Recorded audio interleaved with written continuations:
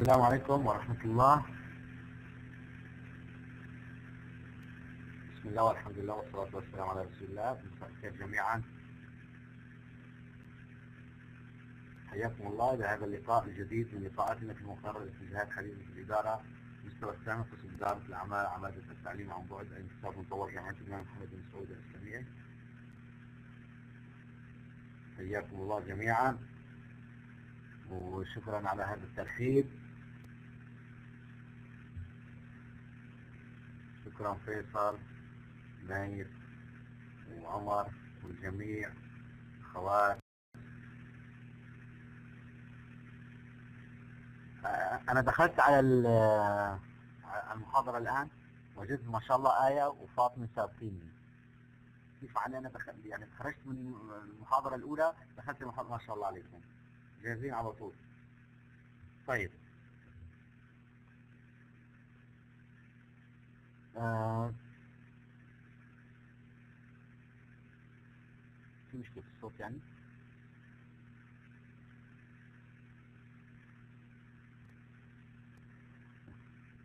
واضح اخت وسمية يمكن انت دائما عندك مشكلة في الصوت.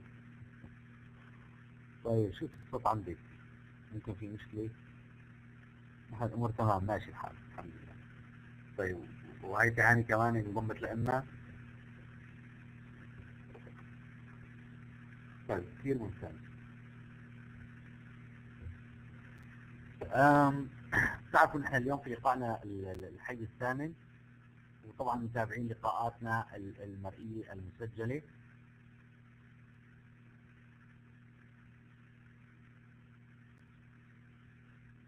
إن شاء الله اليوم راح نبدأ بالفصل الخامس الخامس عفوا الذي يتحدث عن إدارة الإبداع والابتكار في المنظمات.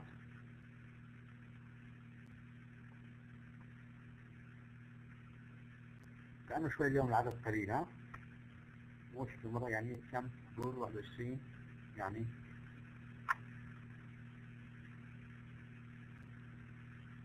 طبعا الايش الخير في من حضر. لكن يعني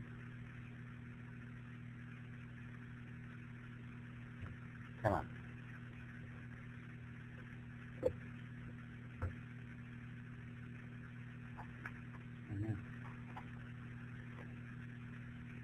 إن شاء الله تعالى. طيب. أنا توقعت بيتابعوا مباراة النصر. فكويس يعني إنه إيش؟ في المحاضرة الثانية تحت منشآت مالية أو غيره كويس.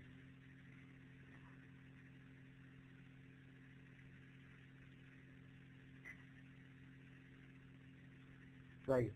ماشي. وانت شكلك شكلك يا يا يا نايف هلالي ها؟ يا لطيف.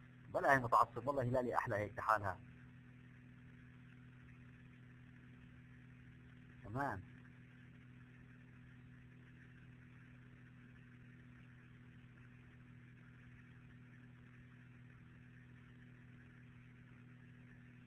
بس يا فهد شوفوا يا جماعة. إذا نحن عم نحكي آه مش مش عم نغير جو. آه نتحدث عن إدارة الإبداع والابتكار آه في المنظمات. بتعرفوا نحن كنا بدأنا الحديث في هذا المقرر عن إدارة الوقت في البداية وبعدين عن الاتصال ثم عن إيش؟ ضغوط العمل والصراع التنظيمي في الفصل الثالث وفي الفصل الرابع تحدثنا أيضا عن إعادة الهندسة أو الهندرة. اليوم رح نتحدث إن شاء الله عن إدارة الإبداع والابتكار في المنظمات. ومعروف يعني إنه الإبداع والابتكار ويمكن تحدثنا حتى في عنه خلال حديثنا عن كثير من الموضوعات. يعني إدارة الوقت بتساعد على الابداع والابتكار عملية الاتصال وكيفيه الاتصال وجودة الاتصال بتساعدنا أيضا على الإبداع والابتكار. كل عوامل بتساعدنا. التخلص من الضغوط وكيفيه التعامل مع ضغوط العمل. وبتعرفوا أكثر ناس بيتعرضوا لضغوط العمل هم الناس المبدعين والمبتكرين. لأنه دائما بيكون في إيش؟ طيب نايف نحن ما بدنا نستعجل رح نحكي إن شاء الله آه، بال آه، يعني بالتفصيل عن هذا الموضوع إن شاء الله. وأيضا يعني آه، صراع التنظيم أحيانا الصراع ممكن يكون بسبب الحصول على الموارد اللي بتساعدنا على إنه نكون مبدعين ومبتكرين في العمل. مثل ما بتعرفوا اليوم الاقتصاد اليوم الأول في العالم هو ما يسمى بالاقتصاد المعرفي. وهذا الاقتصاد اللي, اللي عم نذكره أو الاقتصاد المعرفي هو الاقتصاد اللي أصبح اقتصاد المعرفي أقصد هو السمة الأساسية لهذا العصر أو لاقتصادات الدول في هذا العصر.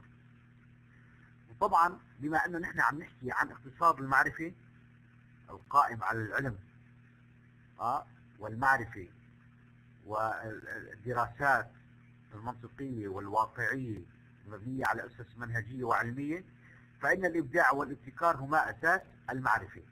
لأنه كل معرفة نحن عم نستطيع عم كل معرفة عم نطلع عليها وكل معرفة. عم نستخدمها في حياتنا.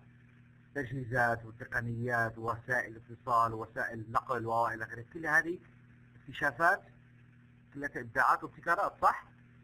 وبالتالي هذه أيضا يعني آه، دليل على إنه الإبداع والابتكار هم أساس المعرفه وأيضا المعرفة لما الإنسان بيكون لديه المعرفة والمعلومة والقدرات والمبادئة والابتكار والقدرة والرغبة يساعد في توليد إفكار ابداعيه وابتكارات جديدة. اذا هي حلقة إيش؟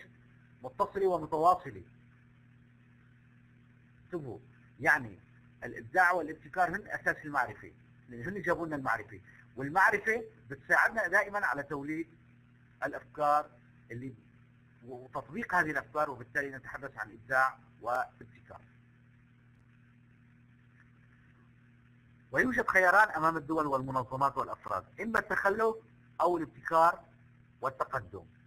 فالابتكار يؤدي إلى ظهور منتجات جديدة وتحسين المنتجات الحاليه الحالية. وهذا يدعم المنظمة في مواجهة المنافسين فضلا عن تحقيق الأرباح الطائلة. اذا نرجع نعيد الفكرة الأساسية نحكي الآن عن الابتكار.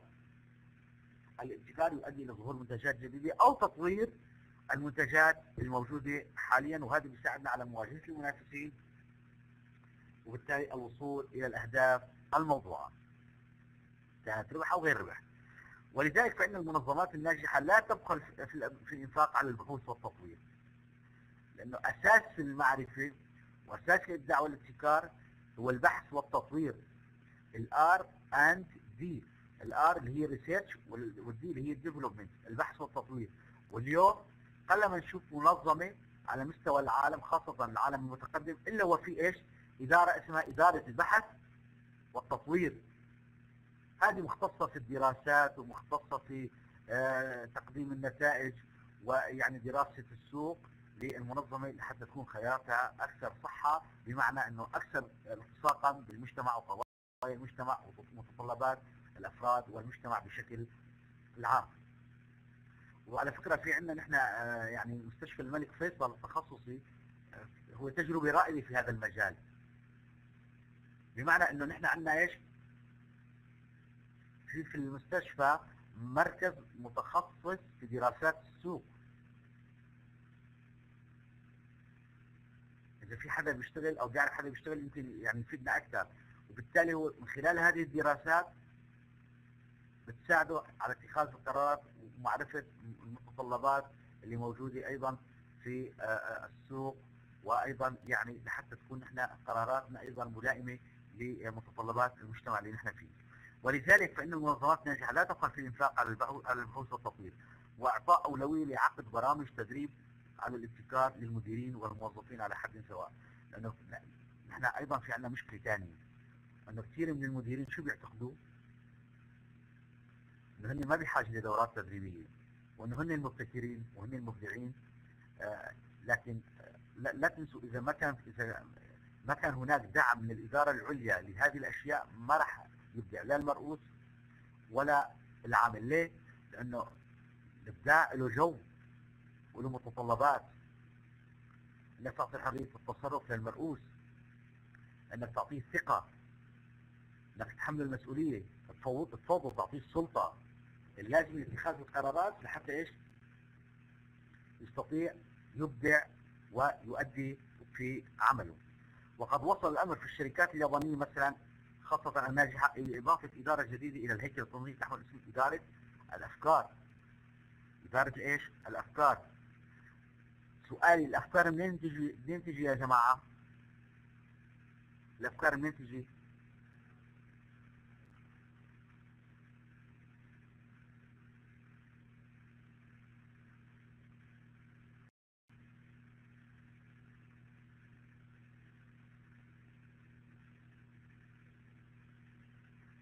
طيب ماشي.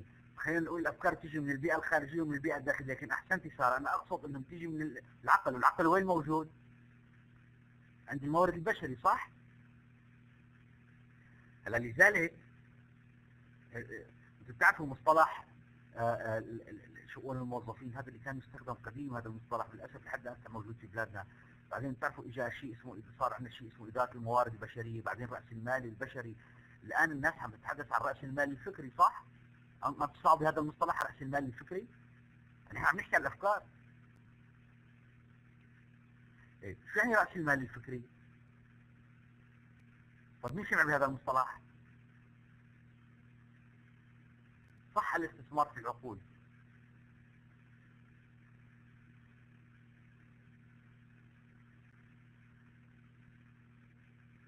إذا ما المقصود؟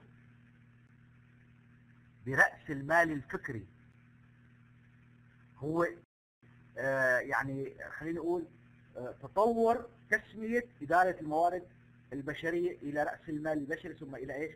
رأس المال الفكري تعرف شو يعني رأس المال الفكري؟ نحن تعريف بسيط رح أعطيكم إياه بسطر إذا بحب يكتب رأس المال الفكري هو عبارة عن القوة خلينا نقول بين قوسين الطاقة الذهنية. إذا رأس المال الفكري هو عبارة عن إيش؟ القوة الذهنية أو الطاقة الذهنية. التي تميز المنظمة عن غيرها من المنظمات.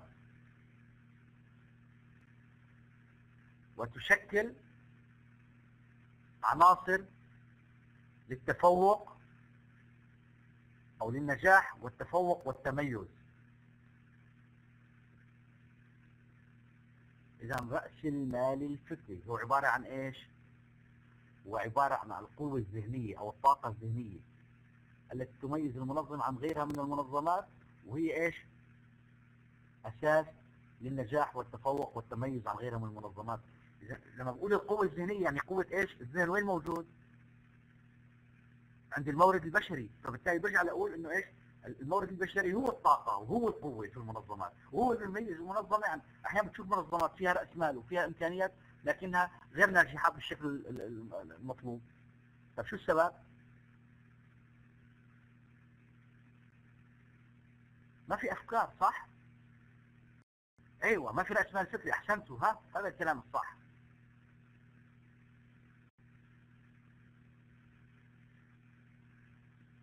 وأحيانا بتشوف شركات أقل أو منظمات أقل إمكانيات لكنها متألقة وموجودة في السوق. شو السبب أيضا؟ الأفكار ورأس المال الفكري. طيب. رح نبدأ بالحديث عن التفكير وأنواعه وعلاقته بالذكاء. حلو الموضوع الموضوع جم... يعني جميل جدا وله علاقة في حياتنا اليومية وحياتنا في العمل.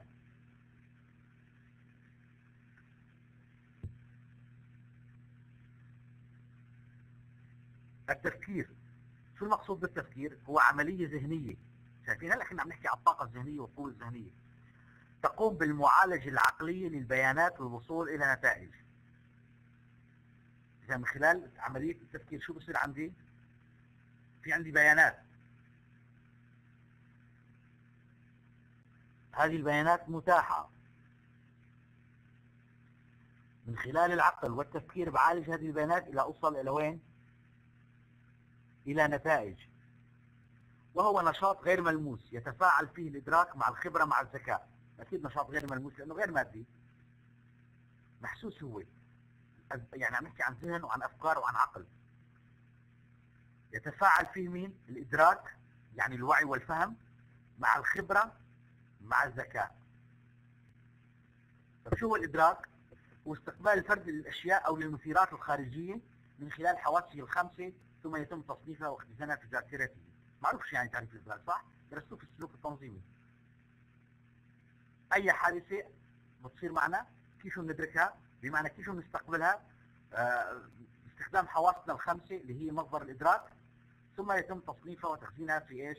في الذاكرة. لأنه كثير أحيانا ندرك أشياء لأول مرة وأحيانا ندرك أشياء هذا الشيء مر معنا. معناتها إيش؟ موجود ومخزن في الذاكرة بشكل مسبق أما الخبرة فهي حصيلة ما اكتسبه الفرد من معلومات من خلال معايشته انتبهوا على انتبهوا على الكلام اللي عم نحكيه ماشي لمياء والخبرة هي حصيلة ما اكتسبه الفرد من معلومات من خلال معايشته وتعليمه. شوف يا جماعة بدي الفت انتباهكم لنقطة. الخبرة أنا لما أكون موجود في مكان عمل آه وبأدي عملي بشكل اعتيادي إذا نفس العمل عم أديه وأنا مستمر فيه أول سنة وثاني سنة وخامس سنة لمدة عشر سنوات. قديش خبرتي في هذا العمل؟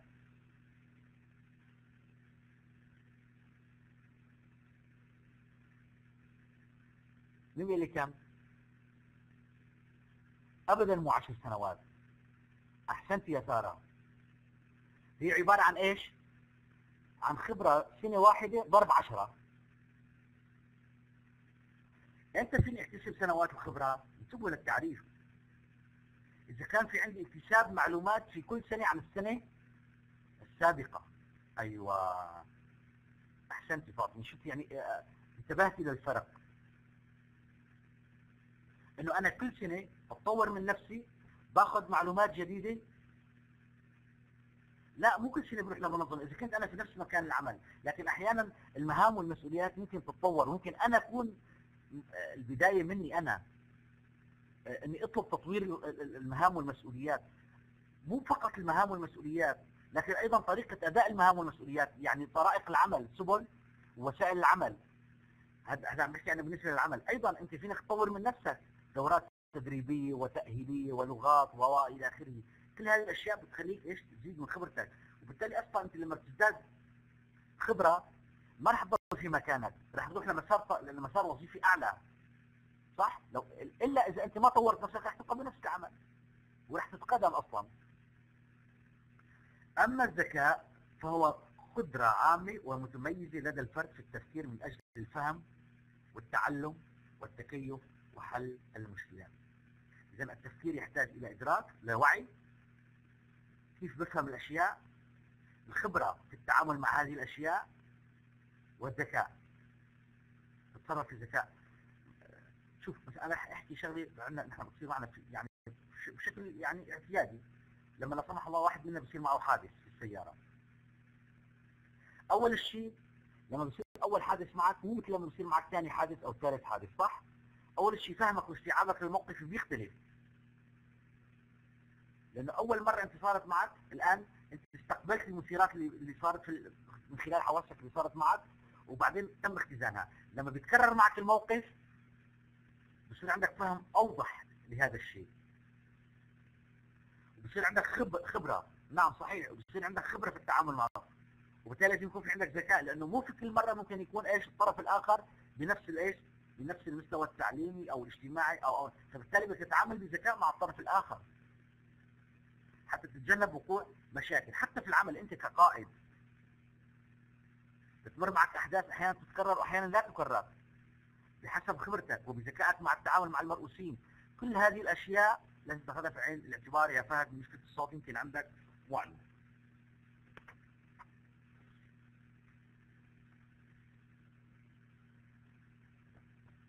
ماشي يا جماعة؟ طيب. توجد أشكال متعددة للتفكير أهمها.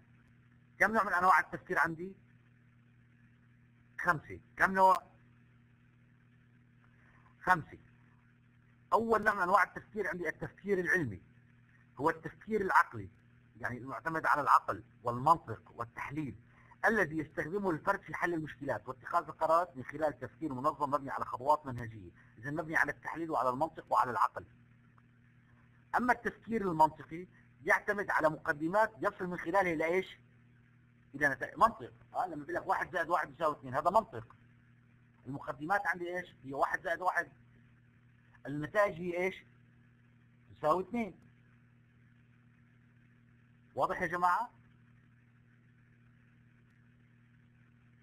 حلو وهو يبحث عن الأسباب التي تكمن وراء الأشياء ليش وصلنا لهذه النتيجة؟ لأنه واحد مع واحد يساوي اثنين والحصول على أدلة تؤيد أو تنفي وجهة النظر النوع الثالث هو التفكير الناقد وهو الذي يقوم على أساس تقصي الدقة في ملاحظة الواقع. واستخلاص النتائج بطرق موضوعية بعيدة عن التحيز والعاطفة. إذا مبني على إيش؟ على تقصي الواقع. وحقيقة هذا الواقع هذا الناقد. بعيدا عن إيش؟ استخدام العواطف أو المشاعر أو الأحاسيس. التفكير الرابع هو التفكير الابتكاري. شو هو التفكير الابتكاري؟ هو الذي يحول المألوف إلى شيء غير مألوف. والتفكير الخامس التفكير الخرافي ها؟ يعني تخاريف. تمام؟ هو التفكير الذي يهرب من الواقع يعني غير مرتبط بالواقع. ويفسر الظواهر والأحداث بناء على أمور غيبية تفتقر إلى الدليل العلمي ها يعني واحد جالس عم يخرف لا أنه مستند على واقع ولا مستند على دليل علمي ولا شيء فبالتالي عم يحكي كلام يعني واليوم ما حدا ياخذ شيء كلام والله نظري من غير ما يكون مستند إلى واقع ودراسات علمية منهجية منطقية. طيب الآن عندي جدول في مقارنة بين التفكير التحليلي والتفكير الابتكاري. طبعا التفكير التحليلي مثل ما حكينا يعتمد على العقل صح؟ والمنطق التفكير التحليلي تفكير منطقي تقليدي أما التفكير الابتكاري فهو تفكير مرن بلا قيود ولا حدود. يعني ممكن نحن نفكر ليش وكيف إلى آخره. مو دائما واحد زائد واحد يساوي اثنين يعني أو يعني خلينا نقول إيش؟ إنه أو حتى لو حتى لو سلمنا بإنه واحد زائد واحد دائما تساوي اثنين ليش واحد زائد واحد يساوي اثنين؟ نبحث لماذا؟ ونبحث أيضا في فكرة ثانية. إنه مثلا في ناس بتقول لك واحد زائد واحد اثنين واحد زائد واحد لا تساوي اثنين دائما. لو حطينا برتقالي وتفاحة مو يساوي اثنين. يطلع معي جواب برتقالي وتفاحة. بينما حطيت تفاحه زائد تفاحه يطلع معي تفاحتين. فايضا يعني في كثير من الأشياء اللي لها علاقة ب آه، آه، المرونة في أخذ الأفكار والتعامل والتعاطي مع هذه الأفكار ومن هون بتبدأ عملية التفكير وعملية يعني التحليل هذا بتساعد أكثر على الابتكار. التفكير التحليلي يحتاج إلى تحليل حسابات وأرقام. التفكير الابتكاري يحتاج إلى خيال وعلاقات. طبعا يحتاج مثل التفكير التحليلي لكن بالإضافة إلى الخيال والعلاقات. التفكير التحليلي يبحث عن حل واحد صحيح دائما. التفكير الابتكاري يبحث عن حلول وليس حل واحد. التحليل يمكن التنبؤ بالحلول مقدما أما التفكير الابتكاري لأنه أنا أنت إذا أنت عم تفكر شيء فما حدا حيكون متوقعه التفكير التحليلي يعتمد على الربط بين أفكار بينها صلات وعلاقات واضحة بينما التفكير الابتكاري يعتمد على الربط بين أفكار وأشياء ليس بينها ارتباط. بيحاول إنه إيش؟ يوجد ارتباط ليوصل لنتيجة جديدة وهذا هو الابتكار. التفكير التحليلي لا يخرج عن المألوف والمعتاد فهو أسير العادي. أما التفكير الابتكاري شو حكينا عنه هو الذي يحول المألوف إلى شيء غير مألوف. يخرج عن المألوف والمعتاد فهو نقيض الشيء العادي أو الشيء المعتاد بشكل عام. طيب الآن نتحدث عن مفهوم الإبداع والابتكار. الإبداع نبدأ بالحديث عن الإبداع. شو هو الإبداع؟ هو التفوق في فهم الأمور. ماشي. آها وتقديم حلول غير مسبوقة لمش... لمشكلات قائمة. وتقديم مقترحات تحقق نتائج متفوقة. إذا الإبداع أنك تقدم حلول ما كانت موجودة مسبقا. يعني حلول جديدة لمشكلات موجودة. اذا نحن عم نقدم حلول جديدة ما سبق وطرحت لمشكلات قائمة. ممكن يكون في عندي مجموعة من الحلول للمشكلات القائمة. لكن الإبداع أنك توجد طريقة جديدة لحل هذه المشكلة ما كانت موجودة في السابق وهذا الحل هو بيكون الأفضل هو اللي بيحقق لنا النتائج اللي فيها إضافة وفيها تفوق مركزين معي؟ تمام من خلال الإبداع يتم تقديم أفكار جديدة خارج عن المألوف. هذا حكينا أنه إيش؟ تنتقل الأشياء من من المألوف إلى الشيء غير المألوف. على شرط أن تكون نافعة وأخلاقية. فإذا كان الإبداع في مجال يجلب الدمار أو ينشر العار فإنه لا يسمى إبداعا بل يسمى تخريبا وانهيارا. طيب في الإبداع لازم ناخذ في عين الاعتبار الأشياء أنها تكون مفيدة وأخلاقية.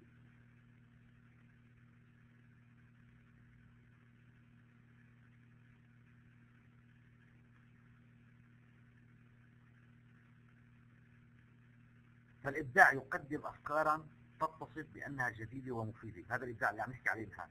أفكار جديدة ومفيدة. تحل مشكلات قائمة هذا حكيناه أو تساعد في تطوير أساليب العمل لتقفز بأصحابها إلى العمل. إلى الأمام عفوا وإلى التفوق. بمعنى أنه إيش؟ ممكن أن نطور في أساليب العمل. ولا بد أن تتوفر في الأفكار الإبداعية إمكانية التطبيق.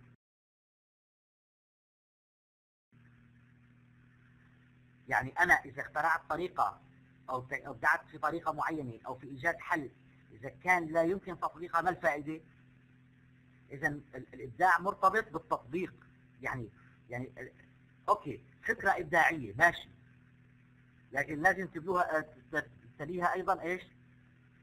إمكانية تطبيق هذه الفكرة. فليس من الإبداع أن يقدم الفرد أفكارا مثالية بعيدة عن الواقع. كلا كان في نستطيع نقدم أفكار. لكن هذه الأفكار هل هي قابلة للتطبيق؟ حتى تكون قابلة للتطبيق يجب أن تكون إيش؟ واقعية صح؟ قريبة من الواقع ويمكن تطبيقها بشكل عام. هذا الإبداع. طب خلينا نشوف الابتكار مشان نربط بيناتهم. الابتكار بكلمة بسيطة هو عبارة عن إيش؟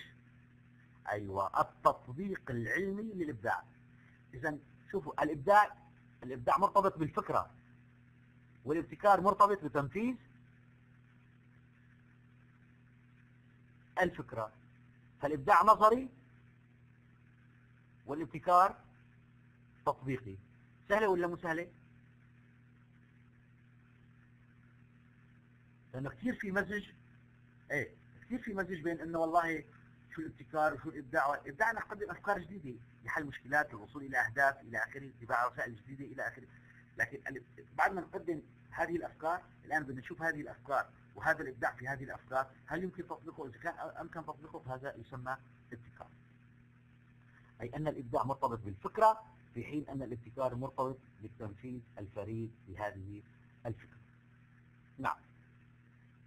بعبارة أخرى فالإبداع هو التفكير في الأشياء الجديدة. تفكير. محصور بالفكرة بالتفكير. أما الابتكار هو عمل الأشياء الجديدة. كلمة الابتكار تستخدم أكثر في مجال التجارة والصناعة والأعمال لأنه كلها أعمال تطبيقية. أما كلمة الإبداع تستخدم أكثر في المجالات الفنية والأدبية لأنه أكثرها يعني مرتبط بالأفكار و آه، يعني آه، شكل نظري أكثر منه تطبيقي. يغطي الإبداع والابتكار كثير من المجالات منها الإبداع في السلع إدارة العلاقات العامة مع العملاء العمليات الإنتاجية الوظائف الإدارية. كافة أنواع الخدمات في الوظائف المنظمة بشكل عام كالتسويق والتمويل والموارد البشرية. سؤال الآن ما هي أهم صفات المبدعين؟ في عندي مجموعة من التقسيمات. في عندي صفات عقلية ونفسية وفي عندي عملية وفي عندي إيش؟ إنسانية. نبدأ بالصفات العقلية. المبدع. صفاته العقلية من أهمها أول شيء قوة الذاكرة ليه؟ لأنه عم بيستخدم أصلا هو قائم على إيش؟ على الذهن والفكر والذاكرة اللي هي منبع إيش؟ هذه الأفكار قوة الذاكرة التركيز على النقد البناء لأن النقد يعني آه، يعني التشاور في الآراء والأفكار لأنه أنت لما تنتقد شيء ممكن يرد عليك الطرف الآخر وبالتالي هذا أيضا يساعد على إنبات أفكار جديدة. حب الاستقلال وليس التبعية. لأنه شوف تذكروا لما حكينا في نظرية القيادة إذا تتذكر لما درسنا القيادة الإدارية كنا عم نحكي إنه في عندي في دورة حياة القائد لما بيكون الفرد عنده نضوج فوق المتوسط اذا تتذكروا بمعنى إنه يستطيع تحمل المسؤولية فإنه فإن القائد يعطيه حرية التصرف. وبالتالي هذا بيساعده أكثر على الإبداع والابتكار. صح؟ لأنه هذه الاستقلاليه هي بتعطيه الأفكار وتعطيه القدرة على أنه يبدع ويبدع ويبتكر وإلى آخره. بينما إذا كان عنده تبعية خلاص تبعية معناتها أنت أدي هذا العمل بيأدي لا تؤدي هذا العمل ما بيأدي هذا العمل. أيضا عنده حب الاستطلاع أكيد حب الاستطلاع والتعرف على الأمور الجديدة والغريبة هذا بيساعد على الإبداع والابتكار في العمل. هذه صفات عقلية مرتبطة بالعقل نفسه.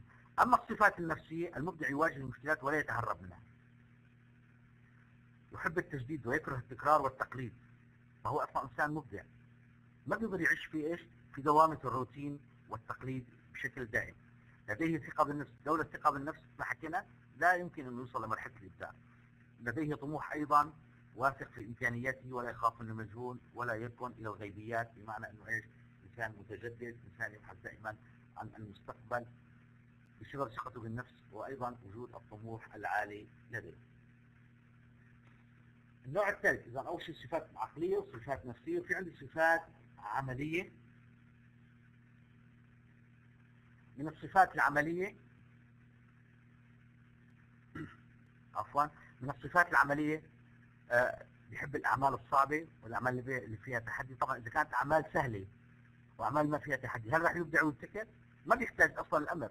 إذا أنت بتأدي عملك بشكل سهل وين راح يكون في إبداع؟ وين راح يكون في ابتكار؟ ما راح يكون في إنما لما تكون الأهداف والأعمال تحتاج إلى تحدي هون بيبدأ عملية الإبداع والابتكار. لديه صبر ويتحمل قسوة الحياة. طبعا الصبر آه يعني هذا اللي اخترع لنا المصباح الكهربائي توماس أديسون. مر ب 200 تجربة لوصل للمصباح الكهربائي. معروف قصته صح؟ بسبب إنه كان عنده إيش؟ مع إنه كان عمل صعب لكن كان لديه روح التحدي وكان لديه الصبر. نحن إذا آه، نمسك الجوال ما بيفتح معنا من أول مرة. إذا كان من الجوالات اللي بتفتح بنشيل البطارية وبنركب البطارية. أو على طول خذها على إيش؟ يعني بدنا نتعامل بطريقة فيها أكثر تحدي. ويحتاج إلى الصبر. الإنسان أيوه صح أحسنت عبد الله. يعني من أول مرة بقول لك يا أخي هاي الشغلة مو شغل فيه الله يرضى عليك خليني إيش؟ آه، دور لي على شغلة ثانية كذا إلى آخره. ذاك الرجال جلس في 200 محاولة ولما يقولوا له أنت يعني مريت في فشل يقول لهم لا مو فشل لأنه في كل مرة أنا كنت أعمل فيه تجربة انتهي من أخطاء قديمة. يعني الأخطاء اللي واجهتها خلص انتهيت منها. فأنا رايح إلى تحدي جديد. يحب الحرية في العمل ويكره اللوائح مثل ما حكينا لا يمكن إنك إيش؟ تعطيه آه، أو تحطه ضمن قيود معينة يفضل الأعمال الغامضة والأعمال التي يهرب منها الآخرون. يعني ما أكيد ما بيستطيع يشتغل في جو من الروتين والأعمال يعني المتكررة. من الصفات الإنسانية يا جماعة الإنسان المبدع هو إنسان حساس مرتبط بالطبيعة وإلى آخره. أكيد لو ما عنده آه، يعني يعني آه، هذه الصفات ما راح يكون مبدع. مهذب شجاع صريح خدوم في صفات مهمة يستمتع بالأعمال التي يقوم بها بيأدي عمله بمتعة ينتظر الثناء والمديح حينما يقدم شيئا جديدا مشان يحس نفسه إنه إيش هو فعلا يعني الناس شايف في هذا العمل ومقدرة لهذا العمل. النقطة الأخيرة اللي راح ندرسها اليوم هي إيش؟ متطلبات التفكير متطلبات التفكير الإبداعي. طبعا يتطلب التفكير الإبداعي قدرات عديدة ومتنوعة من أهمها من أهمها ما يلي.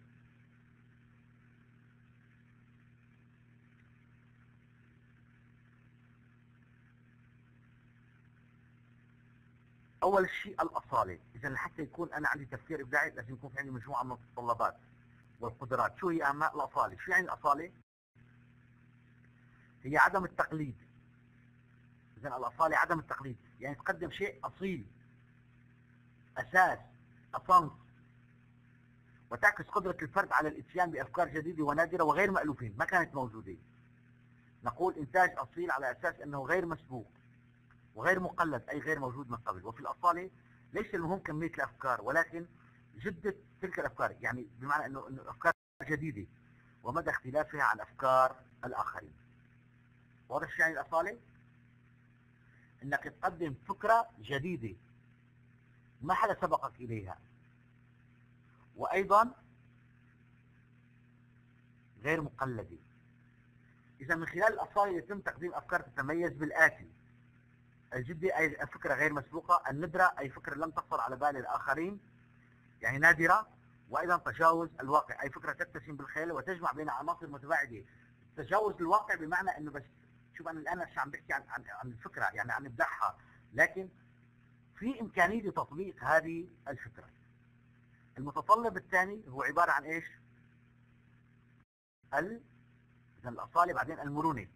وهي وجود اختلاف وتنوع في الأفكار التي يأتي بها الفرد وأن يبتعد عن الجمود ولا يتصلب أمام فكرة واحدة أو رأي واحد بل يغير زوايا التفكير. ما لازم دائما ننظر للموضوع من زاوية واحدة لذلك لما يكون في عندنا تفكيرين بيكون أفضل من تفكير. ثلاثة عم يفكروا أفضل من واحد أو اثنين. طب ليش ما أكون أنا الشخص نفسه اللي عم يفكر بس كل مرة من زاوية مختلفة؟ كأني أنا إيش ثلاث أشخاص في شخص واحد. ويكون على استعداد لتغيير وجهة نظري في ضوء الأحداث والبيانات المستحدثة. أعوذ بالله. نحن بالنسبة لنا أي رأي متشبثين فيه لا يمكن إيش؟ الطعن فيه. هيك أو لا؟ وهذا مو دائما صحيح. ليش كان في نقاش وفي حوار وفي تشاور؟ مشان تتبادل الآراء والأفكار مع الآخرين. مشان نحصل نحصل على الرأي الأفضل. والمرونة تعني عدم التفكير في حل واحد عدم التقيد بالأشياء المألوفة التنقل بين الفئات المختلفة عدم وضع حدود للتفكير. لذلك ال brainstorming اللي هو التفكير أو العصف الذهني كثير مستخدم يعني في في المنظمات اليوم. ليه؟ لأنه تجيك عدة حلول للمشكلة من عدة آه، أذهان. يعني بمعنى في أشخاص كثير عم يقدموا لك حلول آه، ممكن منها يكون حلول غير مألوفة وفي فئات مختلفة عم تقدم هذا الحل مثل ما حكينا وبالتالي ما في حدود للتفكير لأنه كل واحد راح يفكر بطريقة مختلفة.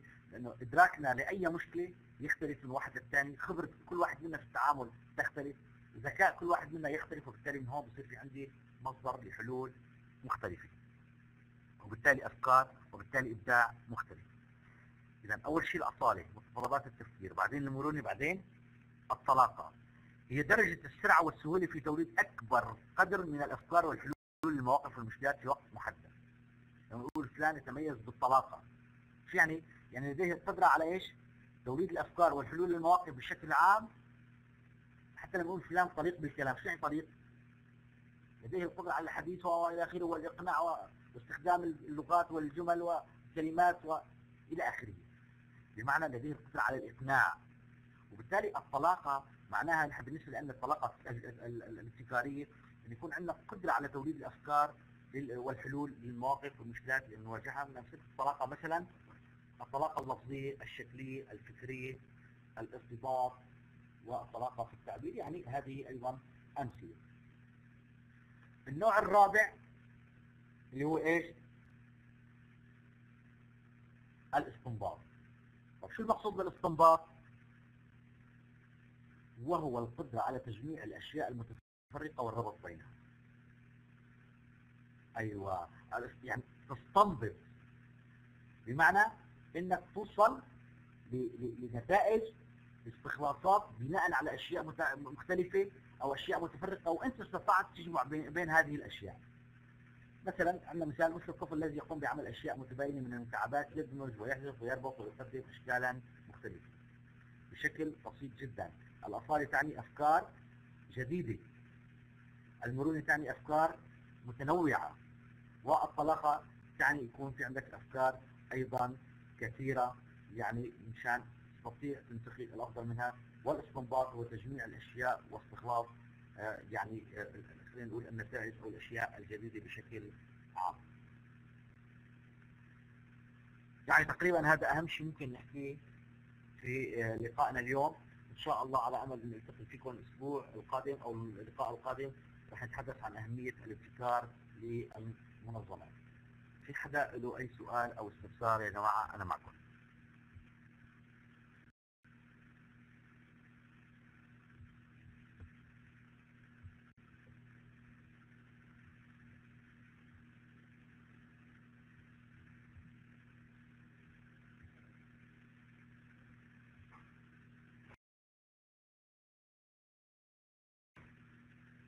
نعم في حدا له سؤال؟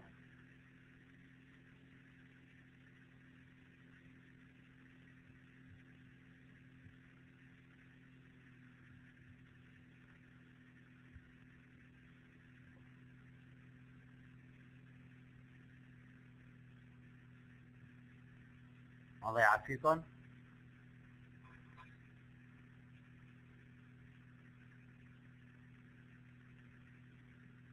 طيب ان شاء الله راح يكون عندنا لقاء الأسبوع القادم في نفس اليوم.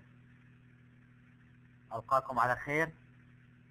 برجع بذكركم إنه أيضا بالنسبة لموضوع التكليفات راح تكون إن شاء الله بعد الإجازة مشان نكون آه يعني تجاوزنا نسبة كبيرة إن شاء الله من المقرر. وبتكونوا جهزتوا أنفسكم مشان تكون التكاليف فيها مجموعة من الأسئلة يكون في فائدة من الاطلاع على هذه التكاليف ومثل ما حكينا التعامل معها على أساس أنها اختبار لحتى تكون إن شاء الله الفائدة يعني آه، مضاعفة. بشكر لكم حضوركم وتفاعلكم أراكم على خير. السلام عليكم ورحمة الله وبركاته.